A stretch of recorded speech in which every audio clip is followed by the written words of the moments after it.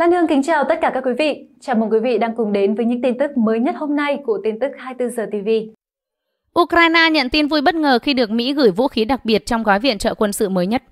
Đài RT cho biết lô vũ khí mới được Washington cung cấp cho Kiev bao gồm pháo, UAV, thiết bị giả phá bom mìn, đạn dược cho hệ thống pháo phản lực HIMARS và các vũ khí khác do Mỹ sản xuất. Đây là lần đầu tiên Mỹ gửi UAV giám sát Scan Eagle cho Ukraine kể từ khi Nga phát động chiến dịch quân sự đặc biệt bên nước láng giềng ngày 24 tháng 2. Truyền thông Mỹ dẫn nguồn tin Bộ Quốc phòng nước này xác nhận gói viện trợ quân sự mới dự kiến bao gồm 16 khẩu pháo cỡ nòng 105mm, tên lửa chống radar AGM-88 HAM, 40 phương tiện chống phục kích, chống mìn Max Pro, MRAP, 50 xe quân sự Humvee và 15 chiếc Scan Eagle. Theo một quan chức Lầu Năm Góc, UAV giám sát sẽ giúp Ukraine có khả năng trinh sát tốt hơn xung quanh tiền tuyến và đạt được lợi thế trên chiến trường với đạn dược dành cho hệ thống pháo phản lực HIMARS. Quan chức này tuyên bố, chúng tôi muốn đảm bảo rằng Ukraine có một lượng đạn dược ổn định để đáp ứng nhu cầu của họ và đó là những gì chúng tôi đang làm với gói viện trợ này.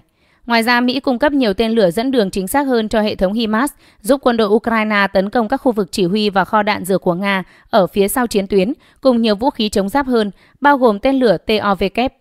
Theo báo The New York Post đưa tin, gói viện trợ 775 triệu đô la Mỹ còn bao gồm 36.000 quả đạn pháo và 1.000 tên lửa chống tăng sách tay Javelin. Hiện vẫn chưa rõ khi nào Mỹ chuyển các vũ khí và đạn dược này tới Ukraine. Cách đây 2 tuần, chính quyền Tổng thống Joe Biden công bố gói viện trợ quân sự 1 tỷ đô la Mỹ cho Ukraine, lớn nhất kể từ ngày 24 tháng 2 cho đến nay. Gói viện trợ có hệ thống tên lửa đất đối không tiên tiến NASAMS, pháo và HIMARS. Gói viện trợ công bố ngày 19 tháng 8 nâng tổng số tiền viện trợ quân sự của Mỹ cho Ukraine lên khoảng 10,6 tỷ đô la Mỹ theo truyền thông Mỹ. Giao tranh dữ dội hàng loạt vụ nổ lớn làm rung chuyển căn cứ Nga. Ngày 20 tháng 8, Nga đưa tin về các cuộc tấn công bằng máy bay không người lái mới của Ukraine, một ngày sau khi các vụ nổ xảy ra gần căn cứ quân sự tại một số khu vực do Nga quản lý của Ukraine cũng như của chính Nga. Các diễn biến mới nhất xảy ra sau vụ nổ lớn vào tuần trước tại một căn cứ không quân của Nga ở Crimea. Trong một đánh giá mới, một quan chức phương Tây nói rằng vụ việc đã khiến một nửa lực lượng hàng không hải quân Biển Đen của Nga bị vô hiệu hóa.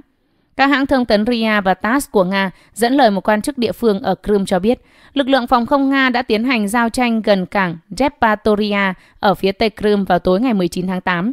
Video do một trang web của Nga đăng tải cho thấy một tên lửa đất đối không đang bắn trúng mục tiêu. Reuters đã không thể ngay lập tức xác nhận tính xác thực của video này. TASS dẫn lời một quan chức địa phương cho biết, lực lượng phòng không Nga đã hạ gục 6 máy bay không người lái của Ukraine được cử đến tấn công thị trấn Novakakhovka phía đông thành phố Kherson. Theo Ukraine, việc chiếm lại Kherson là một trong những ưu tiên của chính họ.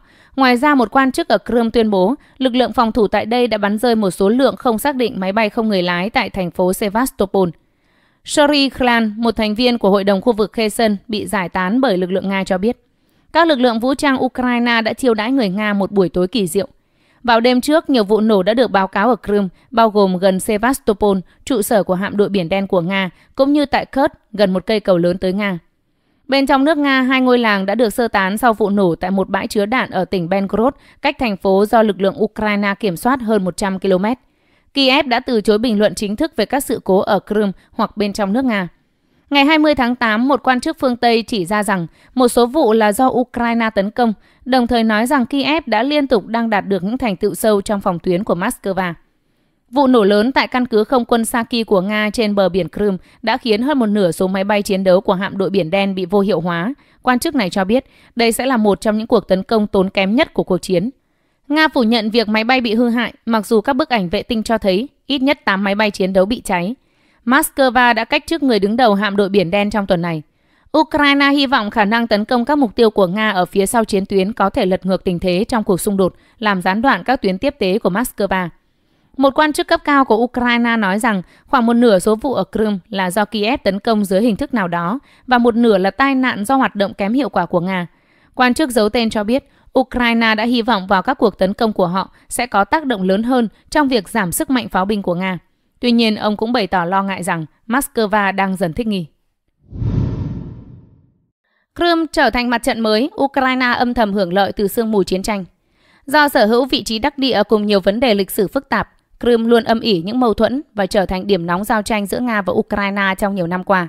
Giới quan sát cho rằng khi chiến sự Ukraine bước sang một giai đoạn khác, Crimea đang nổi lên như là một mặt trận mới. Về mặt địa lý, Crimea nằm giữa Biển Đen và Biển Azov, tiếp giáp với Ukraine bằng một dải đất hẹp nhưng lại ngăn cách với lục địa Nga bằng eo biển Kerch. Crimea có diện tích là khoảng 26.200 km vuông và dân số khoảng 2 triệu người, là điểm du lịch nổi tiếng với các khu nghỉ dưỡng bên bờ biển, các vách đá ven biển và các nhà máy sản xuất rượu vang.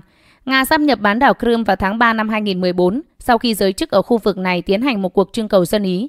Kết quả cho thấy 96% cử tri Crimea ủng hộ sáp nhập. Ở thời điểm đó, phần lớn người dân đang sinh sống ở Crimea là người Nga, chiếm khoảng 60% dân số và ngôn ngữ Nga được coi là ngôn ngữ chính của bán đảo. Phương Tây luôn cho rằng Crimea là một khu vực tự trị bên trong lãnh thổ Ukraine và phản đối việc Nga sáp nhập bán đảo này. Nhưng một số quốc gia như là Nicaragua lại công nhận chủ quyền của Nga với Crimea.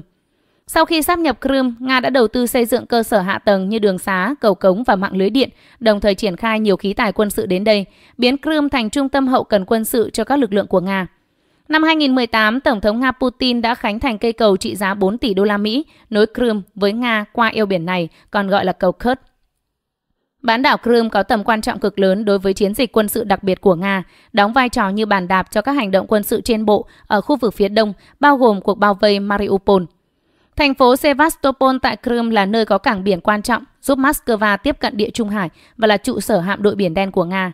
Lợi thế này đã giúp Nga nhanh chóng giành quyền kiểm soát và phong tỏa các cảng của Ukraine dọc theo bờ biển đen, khiến giao thương trên biển của Ukraine bị đình trệ. Cả Nga và Ukraine đều xem Crimea là tài sản mang tính biểu tượng và tính chiến lược trong cuộc xung đột. Trong bài phát biểu ngay sau khi phát động chiến dịch quân sự đặc biệt tại Ukraine hồi tháng 2, Tổng thống Putin cho biết Nga có nghĩa vụ bảo vệ người dân ở Crimea và Sevastopol khỏi những người theo chủ nghĩa phát xít. Ông nói thêm, sau khi người dân Crimea quyết định gia nhập Nga, Moscow không còn lựa chọn nào khác ngoài việc ủng hộ quyết định của họ. Còn Tổng thống Ukraine Volodymyr Zelensky ngày 14 tháng 8 tuyên bố, Crimea là lãnh thổ của Ukraine, chúng tôi sẽ không bao giờ từ bỏ khu vực này. Ông khẳng định, cuộc chiến này bắt đầu với Crimea và phải kết thúc với việc giải phóng Crimea. Theo giới phân tích, loạt vụ nổ tại Crimea có thể mở ra một mặt trận mới, thể hiện sự leo thang đáng kể trong cuộc xung đột Nga-Ukraine và làm tiêu hao thêm các nguồn lực của Nga. Ukraine không công khai nhận trách nhiệm về bất cứ vụ nổ nào tại Crimea, nhưng Tổng thống Zelensky và một trong những cố vấn hàng đầu của ông là Mikhailo Podolyak đã đưa ra những tuyên bố làm dấy lên đồn đoán mơ hồ về sự can dự của Ukraine trong các cuộc tấn công phía sau chiến tuyến. Còn một số quan chức Ukraine tiết lộ với Washington Post rằng các vụ nổ tại hai căn cứ không quân và tại kho chứa đạn dược của Nga là do lực lượng đặc nhiệm của nước này tiến hành nhằm làm gián đoạn chuỗi tiếp tế của Nga. Trước đó hôm 16 tháng 8, một kho đạn gần thị trấn Djankoy đã phát nổ và bốc cháy dữ dội, buộc khoảng 3.000 người dân sống gần đó phải sơ tán. Chỉ ít giờ sau, nhiều tiếng nổ lớn đã dội lên từ một căn cứ không quân của Nga ở Vadiskoye, Simferopol trên bán đảo Crimea. Tuần trước, một loạt vụ nổ đã xảy ra tại sân bay quân sự Saki ở thị trấn nghỉ dưỡng Novo Fedorovka tại Crimea, khiến một người thiệt mạng và 14 người khác bị thương. Bộ Quốc phòng Anh cho rằng tần suất ngày càng gia tăng những vụ nổ như vậy sẽ khiến Nga đứng ngồi không yên. Djankoy và Verdeskoye là nơi có hai sân bay quân sự quan trọng nhất của Nga ở Crimea. Djankoy cũng là ngã ba đường bộ và đường sắt, đóng vai trò quan trọng trong việc vận chuyển nguồn lực cho các hoạt động của Nga ở miền nam Ukraine. Bộ này nhận định, Nguyên nhân của các vụ nổ và mức độ thiệt hại vẫn chưa được đánh giá rõ ràng, nhưng các chỉ huy của Nga nhiều khả năng sẽ lo ngại về tình hình an ninh trên khắp Crimea, căn cứ hậu phương vững chắc cho chiến dịch quân sự mà họ đang thực hiện ở Ukraine. Vẫn chưa rõ các vụ nổ này có phải là kết quả của cuộc tấn công từ phía Ukraine hay không, nhưng vị trí của chúng phù hợp với chiến thuật đánh vào hậu cứ của Ukraine. Kiev được cho là đang thực hiện chiến thuật này để giành lợi thế tại tỉnh Kherson ở miền Nam, nơi họ có kế hoạch tiến hành một cuộc phản công lớn, đồng thời tấn công các trung tâm tiếp tế và sân bay của Nga quanh thành phố Kherson, cách biên giới Nga khoảng 40 km. Ông Mark Hess, chuyên gia tại Viện Nghiên cứu Chính sách Đối ngoại, nói với CNBC rằng Lý do khiến Ukraine tránh những cuộc thảo luận trực tiếp về nhân tố đứng sau tại các vụ nổ ở Crimea và đưa ra những tuyên bố không rõ ràng là bởi họ đã thu được nhiều lợi ích hơn từ tình trạng sương mù chiến tranh. Ukraine muốn ngăn Nga kiểm soát Crimea, nhưng họ không muốn hướng sự chú ý vào cách thức cũng như những loại vũ khí họ sử dụng để thực hiện điều đó. Sương mù chiến tranh là thuật ngữ chỉ việc thu thập thông tin chưa đầy đủ trong một cuộc chiến dẫn đến sự thiếu chắc chắn trong các tình huống của các bên tham chiến. Nói nôm na đây là sự thiếu chắc chắn về khả năng và ý định của đối thủ trong chiến tranh. Và để hạn chế vấn đề này, các lực lượng quân sự phải dựa khá nhiều vào các nguồn tin tình báo hoặc hệ thống theo dõi giám sát. Ông Mark nói rằng dù Ukraine đang thực hiện các nỗ lực ở xung quanh và bên trong Kherson nhằm làm suy yếu khả năng của Nga trong việc nắm giữ phần lãnh thổ ở phía bắc sông Dnipro, vẫn chưa có dấu hiệu cho thấy Kiev đạt được những bước tiến lớn. Ông này nói, Ukraine đã lên kế hoạch thực hiện các cuộc phản công lớn trong vòng một tháng qua, nhưng chúng tôi vẫn chưa thấy họ đạt được bước tiến lớn trên các mặt trận dọc theo tuyến Kherson, Mykolaiv, Dnipropetrovsk. Chuyên gia này lưu ý có vẻ như chiến lược của họ là làm cho Nga suy yếu từ từ, sau đó tiến hành một cuộc bao vây thay vì phản công để cố gắng khiến Nga từ bỏ quyền kiểm soát Kherson và Mykolaiv phía bắc của sông Dnipro. Đối với Crimea, nhà phân tích này nhận định Ukraine có một mục tiêu dài hạn là giành lại vùng lãnh thổ này, nhưng vẫn còn quá sớm để nói về điều đó và mục tiêu giải phóng Crimea có thể không thực hiện được nếu Kiev thất bại ở Kherson. Những thông tin vừa rồi cũng đã khép lại thời lượng của tin tức 24 giờ TV. Cảm ơn quý vị đã chú ý theo dõi. Mọi ý kiến trái chiều, mời quý vị để lại trong phần bình luận video này để chúng tôi có thể kịp thời hồi đáp. Xin kính chào quý vị và hẹn gặp lại trong những bản tin kế tiếp của tin tức 24 giờ TV.